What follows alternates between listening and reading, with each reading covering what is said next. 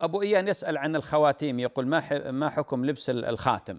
أخوي الفاضل بالنسبة للخاتم للرجل يجوز للرجل أن يتختم لكن بغير الذهب بغير الذهب لأن النبي عليه الصلاة والسلام حرم الذهب على ذكور الأمة وأما الفضة فقال العبوا بها يعني استعملوها. فيجوز للرجل أن يستعمل أو يستخدم خاتم من فضة. وأما خاتم الحديد فمحل خلاف بين أهل العلم. فمن أهل العلم من ذهب إلى كراهيته وبعضهم قال بكراهية التحريم ومنهم من ذهب إلى كراهية كراهية الاستنزاه والذي يظهر والله أعلم بأنه يعني يجوز استعماله استعمال الخاتم من آه، من الحديد كما أنه يجوز استعمال الخاتم من الفضة للرجل.